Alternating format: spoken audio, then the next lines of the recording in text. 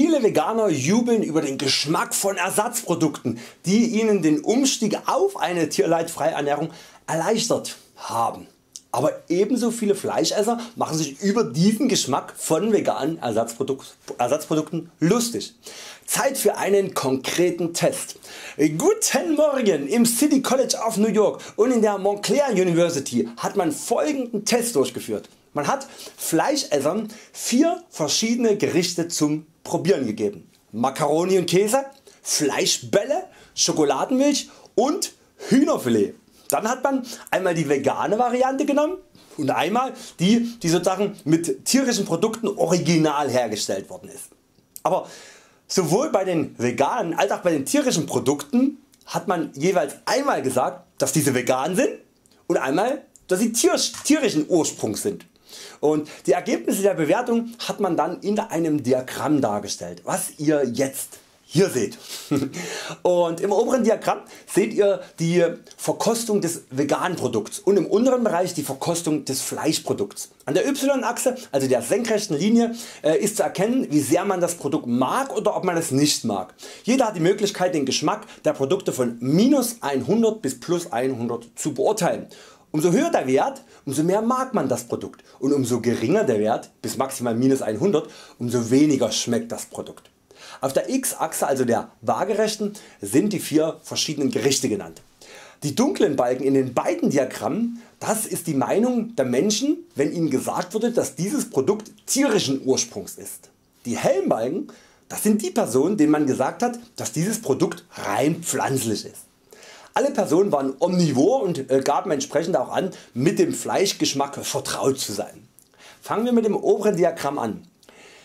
Man setzt den Personen sozusagen ein veganes Ersatzgericht vor und sagt einigen davon das sei Fleisch, also richtiges Fleisch und anderen sagte man das ist pflanzlich.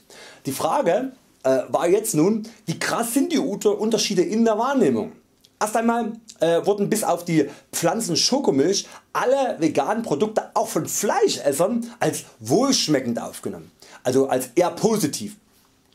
Auch von der Gruppe die eben dachten äh, tierische Produkte vor sich zu haben. Also Fleischesser sind sie ja alle. Ne? Man muss das jetzt immer noch mal dreimal denken. Also sind alles Fleischesser, aber die Fleischesser die auch denen gesagt wurde das ist Fleisch, ne? auch die haben da gesagt wow das schmeckt gut oder es schmeckt gut, wow je nachdem wie hoch das war. Also im positiven Bereich bis auf die Schokomilch. Von einem Ekelgefühl oder den oft im Alltag spöttischen Bemerkungen zugrunde liegenden schlechten Geschmack bezüglich von Fleischersatzprodukten konnte auch bei den Menschen die dachten sie hätten ein Fleischprodukt vor sich keine Rede sein. Und wenn wir überlegen wann die Menschen über sich über diese Produkte lustig machen, sind das zwei Situationen. Einmal wenn sie wissen dass es was pflanzliches ist, beißen rein und sagen äh, ist ja eklig oder sie haben es gar nicht probiert, sehen es irgendwo und sagen äh, ist eklig. Aber wenn sie denken würden es ist Fleisch und reinbeißen, dann schmeckt es meistens denen genauso. Also das ist die erste Erkenntnis. Die Personen die die Milchprodukte wie echte Schokoladenmilch und echte Macaroni mit Käse erwarteten waren im Vergleich zum erwarteten Geschmack der Menschen die wussten dass sie vegane Ersatzprodukte vor sich hatten am größten. Die Ersatzprodukte die den Geschmack von Fleisch imitieren sollten wie das Hühnerbrustfilet und die Fleischbälle die waren erstaunlich nah an den Erwartungen an die Menschen ähm, äh, also äh, erstaunlich nah an, an den Geschmack von den Menschen die erwartet haben tatsächlichen Fleischgeschmack zu konsumieren. So, und das überrascht wenig, da Milchprodukte morphiumähnliche Suchtstoffe haben, nämlich das Beta-Casamorphin. Ich habe da schon mal ein Video dazu gemacht. Und da merkt der Körper tatsächlich physisch, da fehlt irgendwas und irgendeine Sucht ist da nicht befriedigt, man ist unzufrieden. Bei Fleisch kann man relativ problemlos selbiges ersetzen, ohne dass da nennenswerte Einbußen im Geschmack irgendwie kommen. Das wird jeder Veganer, der auch die Ersatzprodukte alle durch hat, ja, sagen können. Äh, bestätigt auch meine persönliche Erfahrung, nebenbei gesagt. Auch erklärt ist, warum es quasi keine wirkliche Herausforderung mehr ist, vegetarisch zu leben. Ja? Zumindest dann, wenn man den Zugang zu Ersatzprodukten hat oder sie selber zubereiten kann. Kommen wir nun zum zweiten Diagramm.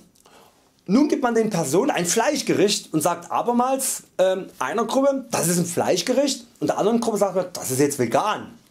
Ähm, zum Glück war da kein Veganer dabei, waren ja alles Fleischesser. Äh, aber zum einen fällt erstmal auf, ähm, dass bei den beiden Fleischprodukten, ähm, von denen wo den Personen gesagt wurde, ähm, dass äh, dieses Fleischgericht vegan ist, dass der Geschmack deutlich negativ bewertet wurde als äh, bei den tatsächlich veganen Produkten. Das heißt die Menschen haben ja, gesagt, ähm, nee, das, das schmeckt mir nicht. Die, die Fleischesser, also das sind ja alles Fleischesser, die, man nicht durcheinander kommen. Die Fleischesser bewerten also, wenn sie Fleisch zu sich nehmen und sie wissen, es ist vegan, diesen Geschmack deutlich schlechter, als wenn diese tatsächlich vegan sind. Habe ich das jetzt richtig gesagt? Ja. Daran lässt sich deutlich erkennen, dass hier bei Fleischprodukten keinerlei echter oder wiedererkennbarer Geschmack existiert. Es gibt nicht den Fleischgeschmack, sondern vieles von der Einstellung gegenüber veganer Ernährung resultiert aus den, aus den Gewürzen zum Beispiel. Ne? Bei Milchprodukten ist jedoch ein deutlicher Erkennungswert festzustellen und dieser resultiert eben aus der körperlichen Abhängigkeit durch die Beta-Casamorphine. Im absoluten Vergleich also was besser schmeckt, ist bei den Meatballs sogar bei Kumulierung der reinen Geschmacksbewertung der Wert nahezu identisch. Das heißt für Fleischesser schmecken vegane Meatballs ungefähr, egal ob sie, ihnen gesagt wurde das ist vegan oder äh, ob man ihnen gesagt hat das ist jetzt echtes Fleisch, ähm, das schmeckt ihnen besser oder schmeckt ihnen genauso wie echtes Fleisch. Ne? Schmeckt gleich gut. Und äh, ich habe euch auch die Studie unten verlinkt, äh, die letztlich zu der Erkenntnis kommt, dass vegane Produkte und ihre tierischen Pendants recht ähnlich wahrgenommen werden. Auf jeden Fall ähm, ja, in einem größeren Umfang ähm, als wir das in der Realität immer bei den Fleischessern äh, beobachten. Ne? Diese, dieser Respekt oder diese Aversion gegen vegane Ersatzprodukte. Also es wird auf keinen Fall wenn man sie schmeckt genauso krass wahrgenommen. Hier zeigt sich dann einmal mehr die menschliche Eigenschaft die in vielen Lebenslagen zum Tragen kommt, eben auf das bewährte Vertrauen und ja, Angst vor einer, einem neuen Schritt haben und auch vor einem Schritt in die neue geistige Evolution. Nein, die Erde die ist nicht rund. Ne? Damit, oder Deutschland den Deutschen hat man ja auch schon die Sache. Äh, oder Fleisch essen ist gesund. Ne? Aber eins hat die Geschichte der Menschheit immer wieder gezeigt. Diese mentale Faulheit sich einer neuen Stufe des Geistes zu stellen, die wird immer von der Energie und der Dynamik neuer Generationen auch abgelöst. Man kann es durchaus als befreiend ansehen, dass Menschen sterben und ihre alten Überzeugungen äh, ja, sich dann eben immer wieder auflösen und die Menschheit Stück für Stück sich weiterentwickelt.